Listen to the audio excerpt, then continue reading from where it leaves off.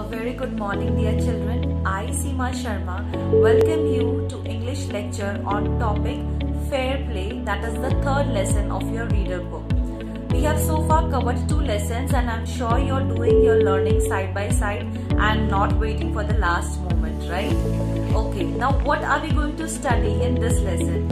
In this lesson, we will be seeing there are two friends, one named Algu and the other named Juman they face a circumstance where it becomes very difficult for them to justify their friendship.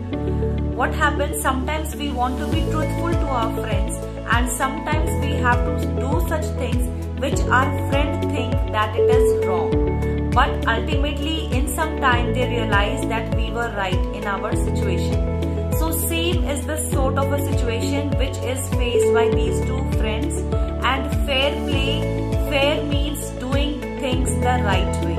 So in this story we will also see that both the friends do the correct things and also they are able to keep up their friendship.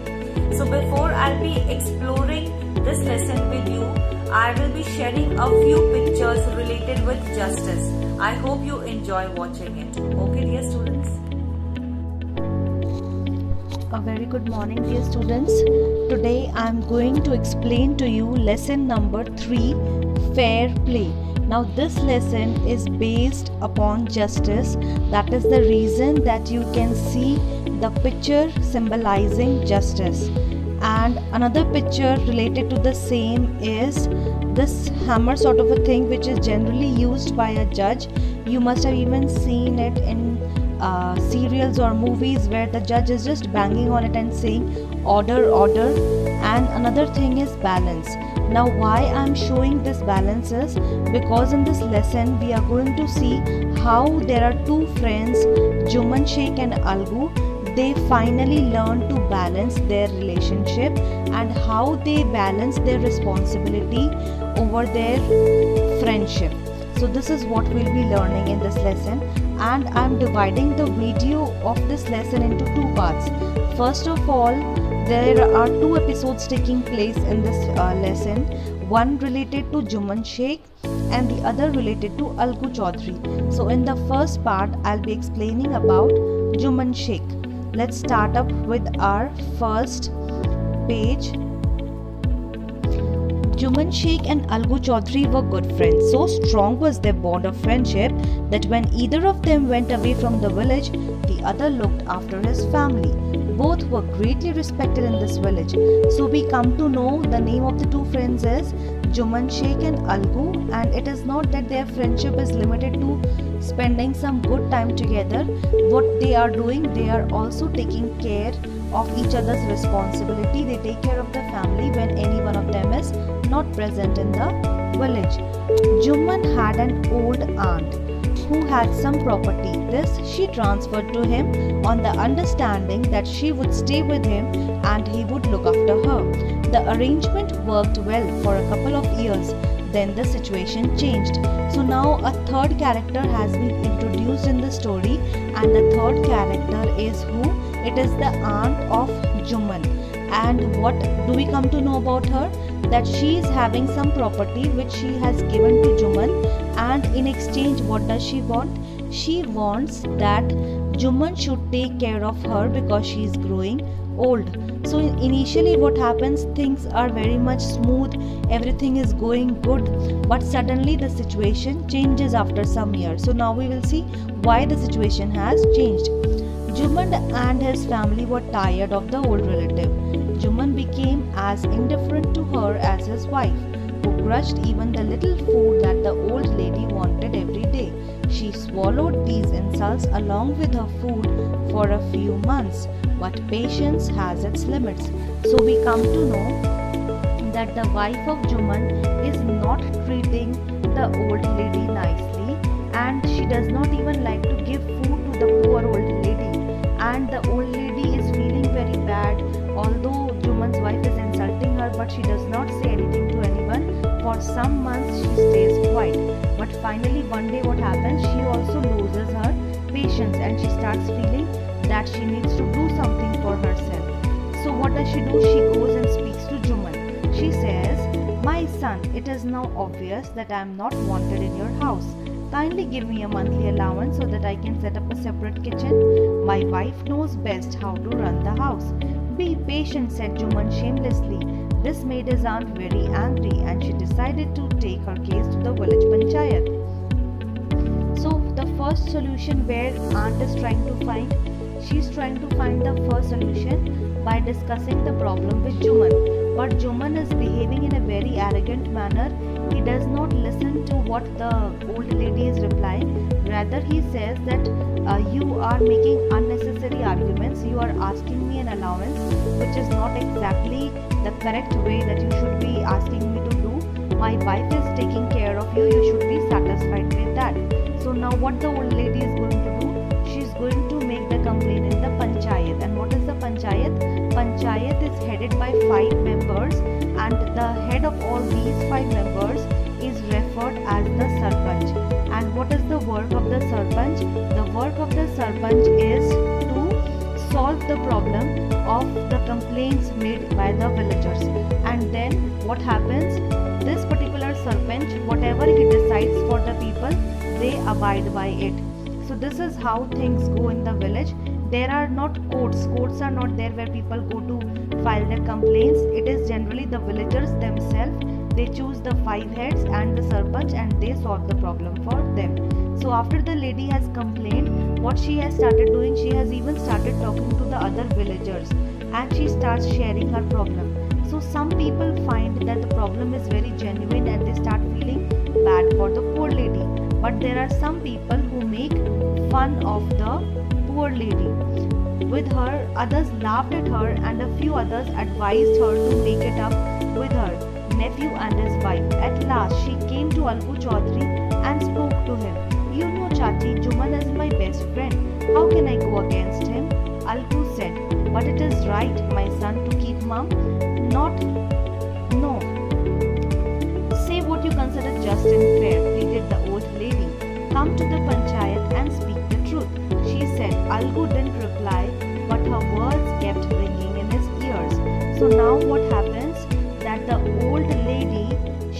Telling the friend of Juman also. She starts complaining to him also that Juman is not treating me nicely, and in the panchayat, I want you should speak the truth. But what the friend is telling, the friend Algu is saying, See, auntie, you know very well that I am the friend of Juman. How can I say anything against him? तो aunty उसे क्या कहती है she says that okay fine he is your friend but will you not speak the truth क्या आप honest नहीं रहोगे क्या आप सच्चे नहीं रहोगे so this is what she says to Algu and Algu is baat ka koi reply nahi deta. He doesn't say anything but he starts thinking about what aunt has said. Next day what happens? The panchayat was held the same evening under an old banyan tree and Juman stood up and said the voice of the panch is the voice of God. The voice of the panch is the voice of God. Let my aunt nominate the head panch. I will abide by her so now Juman is saying that I trust the panchayat, the members of the panchayat, whatever they will decide for me, I am going to follow it just like it is an instruction from God because I know they are going to make a fair decision. The panch knows neither friend nor enemy. What do you say about Algu Chaudhary, the old lady announced. So now what the old lady is saying that I want that the panchayat, the leader of the panchayat, the head of the panchayat, the sarpanch should be Algu Chaudhary. And why is she saying this? She says that because I trust that anybody who is sitting on the seat of the sarpanch will not imagine anyone as his friend or enemy, but rather he will carry out his responsibility very, very fairly. Fine, replied Juman, hiding his joy over this unexpected piece of luck. Chachi, you are aware of my friendship with Juman, said Algu. I know that, replied the aunt, but I also know that you will not kill your conscience for the sake of friendship. God lives in the heart of the panch, and his voice is the voice of God. The old lady then explained her case. So now what happens? Even Algu is again making the announcement that I am the friend of Juman, but uh, the lady, the aunt of Juman, she is saying that I know that you are the friend of Juman, but I trust you and I know that when you are sitting on the seat, you will not think about your friendship. You will just make sure that you're carrying out your responsibility as a judge very very fairly. And whatever is the truth whatever is correct whatever honesty asks you to do that is what you're going to do. Because she believes that god resides in the voice of the panch. So whatever the panch are going to say it is as good as things told from god. So now the aunt explains her part of the story her problem which she is facing with juman. Then juman is also given a chance by algu. Algu says to juman okay you are my friend. Your aunt is as dear to me as you are. You are important to me because you're my friend. And because she is your aunt so she is also equally important to me. And right now i am sitting on the seat of a panch so for me both are equal. Your aunt has already complained about you. Now it is your turn that you justify yourself. You speak something in your defense. So what does juman juman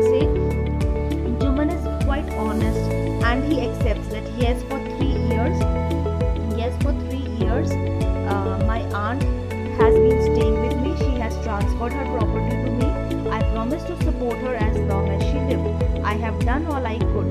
There have been a couple of quarrels between my wife and her but i can't stop it. Now my aunt is claiming a monthly allowance from me.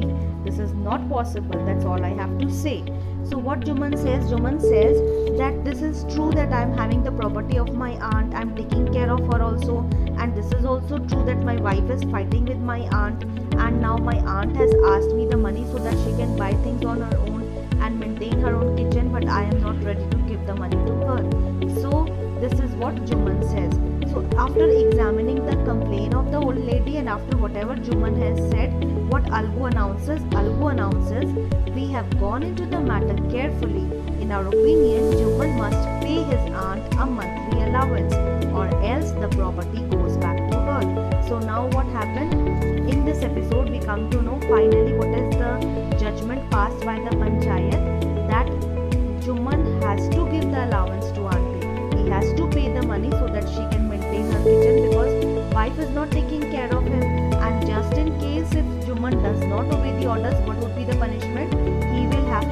transfer back the property of the aunt. So this is what happens in the first part of the story where we have read about Juman. And this incident is going to make things quite different. That we will be knowing in the next video. I hope the doubts regarding this much of the story is definitely clear.